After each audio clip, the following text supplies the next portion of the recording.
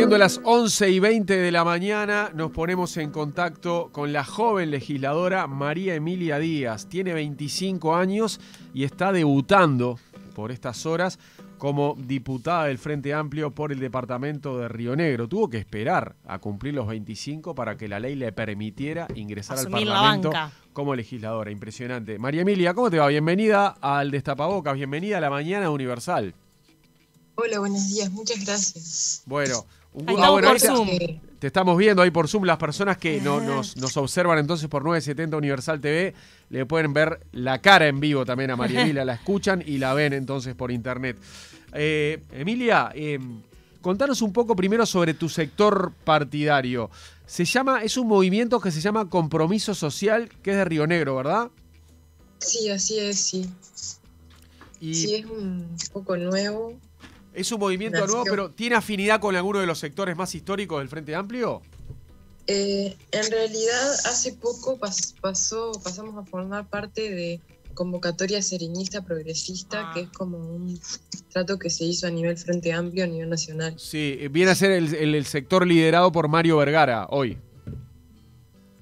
Eh, sí, sí, sí. Y otros referentes, ¿no? Pero hay muchos astoristas que bueno, al, estar Danilo Astori ya cerca del retiro de la política y, sin proyección de, candidatura para la siguiente elección, generaron este, este movimiento. Pero vos te considerás entonces dentro del Frente Amplio como una sereñista, como una astorista. A ver, ¿cómo, cómo visualizás a esos líderes? Estamos hablando de Sereñi, fundador del Frente Amplio. Estamos hablando de Astori, un, un discípulo y delfín de Sereñi, que, que ahora él se transformó en un histórico del Frente Amplio. ¿Vas para ese lado o tenés otros referentes dentro de la coalición de izquierda? No, sí, sereñista progresista, me considero, sí. Sereñista progresista. ¿Y tus referentes hoy quiénes son? Claro que Astori es un referente dentro del sector, obviamente, sí. O sea que Astori es uno de tus referentes. ¿Nos escuchás? Sí, se escucha. Ahí va, bien, bien, digo. Quería aclarar por las dudas que yo, yo entré a cámara el miércoles pasado eh, me votaron la licencia por ese día y tal, y ahora hasta próximo aviso eh, va a estar el diputado suplente o Silvia Ibarburen, que es también la otra diputada que está tomando protagonismo. Sí, sí, lo tenemos claro. Vos, pero vos en la línea de suplentes, ¿en qué lugar estás? Yo en realidad este, estoy en el lugar 8 en este momento. Bien. El otro día cuando entraste, ¿por qué se dio? Y se dio justamente porque las personas que están antes así lo quisieron, me dieron esta oportunidad. Desde un principio, cuando integré la lista, en parte la idea era que hubiera gente joven y mujeres jóvenes. Y tal, a la vez yo estoy formando parte de un equipo de trabajo para la modificación de la ley 17.515, que es la que actualmente legisla el trabajo sexual. Y dentro de ese grupo eh, también vimos la necesidad de poner este tema sobre la mesa de, eh, en, el Pleno, digamos, porque hoy este proyecto modificativo está en comisión de legislación del trabajo. Y el día que entraste, que fue justo el miércoles de la semana pasada, ¿lograste algo? ¿Cómo fue la experiencia? ¿Y qué, qué, pudiste decir? Yo hablé ahí cinco minutos en la media hora previa y ta, estuvo bueno por eso, porque nadie, ningún legislador había hablado de este tema en, en el Pleno, en, Cámara de, Diputados. Y entonces eh, había hasta diputados que recién se enteraban de que nosotros estábamos presentando este proyecto modificativo. Mm. Entonces fue una muy buena oportunidad. María Emilia, contame un poquito eh, cómo nace eh, tus ganas de hacer, bueno, diputada, cómo, cómo comienza tu carrera política, sos muy joven ahora, imagino que la militancia viene desde la adolescencia. Contame un poco cómo tenés familia política, cómo nace en ti esta necesidad de, bueno, ser una legisladora en nuestro país. Sí, en realidad yo desde re chiquita, o sea, sí, mis padres eh, siempre militaron en el Frente Amplio. Y siempre desde muy chica anduve por todos lados con ellos. En realidad cuando era más chica no me imaginaba esto. Eh, me imaginaba así yo militando, pero no, sabía que iba a tener esta oportunidad tan grande de ser legisladora. de ocupar una banca. y tan pronto sobre todo, ¿no? Que te tocara. Sí, tal cual, tal cual. Y obviamente eh, muchas inseguridades y demás, pero prima siempre eh, el agradecimiento y, el, las ganas de aprovechar esta oportunidad, porque no se da todos los días. Y es como, para mí es como tremenda oportunidad para representar justamente a, a las mujeres jóvenes y a los jóvenes del interior que creo que muy pocas veces están representados. ¿Vos ahora vivís en Montevideo o, o dónde estás? Sí, yo estoy viviendo en Montevideo, viajo a veces para eventos, pero vivo en Montevideo, sí. Bien, y me imagino estoy que... Estudiando acá y trabajando. ¿Qué estás estudiando? Eh, estudio ciencias políticas y, y ahora me metí en Bellas Artes porque quiero hacer fotografía. Está buenísimo. Muy bien. Te, eh, te preguntaba por, por, por, tus amigos, me imagino que, que, de tu misma edad de 25 años, capaz que arrancando una carrera universitaria, quizá... Algunos, algunos terminando capaz la carrera universitaria. Los que no pierden el tiempo a esa edad están por terminar la Terminándola, iba a decir. ¿En qué, o sea, cómo, cómo, cómo vos este, convivís con eso, con otras vos otras responsabilidades, quizá otros tiempos, claramente de tu nueva responsabilidad? Este, ¿cómo, cómo, se puede conjugar esos dos mundos? Eh, y sí, o sea, ahora como que estoy como tomando el ritmo y acostumbrándome a, a, tener cada vez más responsabilidades y eso, pero no sé, mis amigos siempre apoyándome y ahí firme para lo que necesite. Eso es una ventaja. Has tenido reuniones con, algunos líderes dentro del Frente Amplio. Mariano te preguntaba al comienzo de la entrevista algunos referentes para ti, quiénes, quiénes son. ¿Te has, podido tomarte un café, sentarte con ellos para tener algún consejo? ¿Cómo hay que trabajar en lo que es eh, la Cámara Baja? Esta carrera política, me imagino que tendrás tus propias aspiraciones también. Sí, en realidad como que es todo muy nuevo y recién ahora estoy empezando a vincularme un poco más con con diferentes referentes. Como que se va dando todo muy a poco, aparte como eh, hay muchos temas sobre la mesa hoy en la política uruguaya, como que también todos tienen la agenda muy ocupada. También, también. Pero sí, de a poco iré conversando más con diferentes referentes y eso. Eh, María Emilia, eh, ¿es difícil acercar en el interior a los jóvenes al Frente Amplio? ¿Cómo te ha resultado esa tarea? Sí, la verdad que, o sea, es un poco difícil eh, justo, justo ayer eh, en, un, en, un, diario, de, en un bisemanario de, de, allá de Río Negro, sacaron una, un titular por algo que yo dije en una entrevista. A ver, ¿qué dijiste? Era que los jóvenes están como muy descreídos de la política partidaria. Y yo me refería más que nada justamente a los jóvenes del interior, porque acá en Montevideo como que existe otro nivel de participación. Ajá.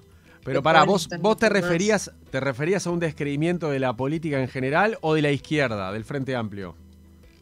Eh, de la política partidaria. de la política partidaria en general. Más que nada en el interior, sí. Bien. No, pero yo aparte te preguntaba lo del Frente, porque en algunos departamentos del interior debe ser más bravo, ¿no? Seducir a un joven para que vaya al Frente Amplio. También por el hecho de que los de tu generación, de veintipico, están más acostumbrados a ver al Frente en el poder que en la oposición. 15 años de gobierno implica eso, ¿no? Y siempre para el joven es más divertido ser opositor que ser oficialismo, ¿me explico? Sí, tal cual, sí, obviamente. sí, eso es. Tal cual. bueno, y te sucedió. Supongo que la mayoría de la gente de tu generación en Río Negro, por ejemplo, irán para, no sé, para el lado del Partido Nacional. Sí, hay algunos que sí, o sea, Igual creo que son muy pocos los jóvenes que están militando. Que militan en política. Es que en el interior se da... En el interior, si bien las generaciones capaz que de nuestros padres o más o abuelos militaban mucho más, en el interior los jóvenes ya no están este, levantando tanta bandera o están encabezando movimientos. Eso se da, yo soy del interior de San Carlos, te cuento, y en Montevideo lo noto mucho más que pares de mi edad de 30 años, de 25 como María Emilia. Militan más. Militan mucho más porque lo tienen más presente. Eso en el interior no se da. Sí, tal cual. Yo creo que también tiene que ver con los espacios que se brindan, ¿no? Como que acá en Montevideo como que tenés diferentes espacios para elegir de militancia. Sí, totalmente. María Emilia, ¿qué te gusta? Allá en Fray Evento, si querés militar, tenés que acercarte, no sé, a un comité de base que Claro. es muy. Puede, puede resultar para un joven, puede resultar un poco aburrido. Aburrido, claro. Como muy clásica la militancia. ¿no Sí, claro. Sí, Sí, sí. sí, te- tenés que sentir, tenés que sentirlo demasiado porque no es muy seductor, ¿no? El comité de base como para entrar siendo un joven, o como que hay cosas más divertidas para hacer, digamos. Claro, incluso la dinámica de los comités, porque acá en Montevideo la dinámica de los com- del comité es totalmente diferente. También hay siempre actividades, siempre cosas para hacer. Claro, por lo menos poneme algo de música para atraerme, ¿no? Al- Algo de movimiento. Sí, Claro, sí. sí. Bueno, ojo que en el Palacio María Emilia no vas a encontrar ni mucho más movimiento ni mucho más música, ¿eh? No, sí, soy consciente. Igual yo hace ya un tiempo que vengo trabajando allí en el, en el anexo, en el edificio anexo, con, eh, con el equipo de Diputación de Río Negro como asesora, entonces está, un poco conozco cómo es la dinámica ahí adentro. Eh, María Emilia, ¿qué querés cambiarle a la ley 17.515 de trabajo sexual? Y en realidad son varias cosas. Eh, los cambios, o sea, a nivel general, como que buscan en realidad que estén más protegidas las trabajadoras sexuales, que dejen de ser, porque en la ley que está actualmente, como que se las ve en cierta forma como un bien de consumo y no como las personas que son, con el respaldo de, de derechos que todas las personas necesitan. Así como en su momento eh, el Frente Amplio buscó y, y logró que las trabajadoras domésticas tuvieran otro respaldo en derechos, ahora estamos tratando de que también las trabajadoras sexuales tengan este respaldo. Eh, no sé, por, si querés te puedo contar un poco, es un poco largo si te enumero los... No, pero decinos los, ahí va, los cambios principales, los más importantes que te parece que son urgentes. Mira, los más importantes, eh, primero que nada nos pareció importante cambiar el- la definición de trabajo sexual, que si bien eh, fue bastante innovadora para esta ley que se, que se promulgó en, en 2002, eh, quisimos cambiarlo porque decía, eh, como que hablaba solamente de, de los servicios sexuales y quisimos eh, agregar erótico sexual para que también dentro de esta definición pudieran entrar si quisieran eh, las personas que, no sé, eh, ejercen mediante la web o, o sea, la virtualidad, los diferentes tipos de trabajo sexual. Bien.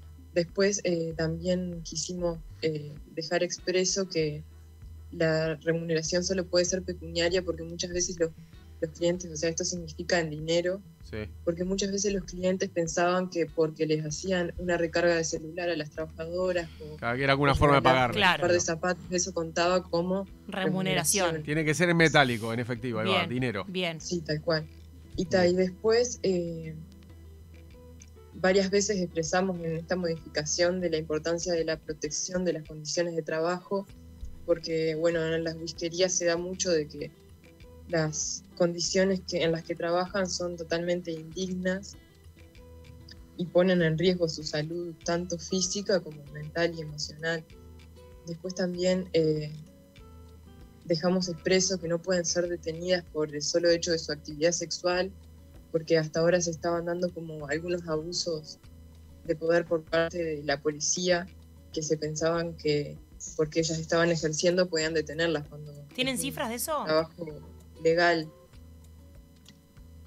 Perdón. ¿Tienen cifras de eso? ¿De cuántas mujeres trabajadoras sexuales han sido detenidas, por lo menos en lo que va de este año, por estar trabajando en la vía pública? No, no tenemos, no tenemos un número porque aparte es eh, una población que, o sea, se cree que hay alrededor de sol- eh, solamente 39 trabajadoras sindicalizadas y de esas eh, solamente 100 que están dentro de la legalidad justamente porque esta es una población muy vulnerada y como que hasta ahora eh, la legislación tampoco le da un amparo tal como para que ellas sintieran esa necesidad de, de blanquear su trabajo, digamos. Bien. Bien. Muchas veces eran más eh, los riesgos que tenía que, que los beneficios, digamos. ¿no? María Emilia Díaz, Pero diputada, bien de las trabajadoras. Disculpa que te corté, María Emilia. No, te decía María Emilia, bueno, diputada suplente del Frente Amplio por el Departamento de Río Negro, te tocó ingresar el miércoles pasado, ya te va a tocar en alguna otra oportunidad. La más joven del país, ¿eh? 25 años. La que batió el récord, o sea, capaz, capaz que no serán muchas malas oportunidades que tengas de entrar, pero ya el récord de esta legislatura lo batiste porque entraste con, 20, con 25 recién cumplidos. ¿Cómo, cómo? que espero que sí sean varias oportunidades más. Sí, Ojalá, bueno, pero pasa que, claro, pero quedan dos años, menos de dos años y medio, digo, capaz que no son tantas porque dependés de que ahí va, de algunas ausencias. De siete ausencias. Sí, sí, o de, repente algunos que, están ahí, capaz que justamente si se va a tratar el tema del trabajo sexual, se corren para que entre María Emilia, que eso sucede. O sea que bueno, ojalá, ojalá que puedas aprovechar esas oportunidades y que te sirva de experiencia para seguir creciendo en la política, que es lo que querés. Te mandamos un abrazo, María Gracias por estos minutos. Bueno, gracias a ustedes. Chau, chau. Que pase bien.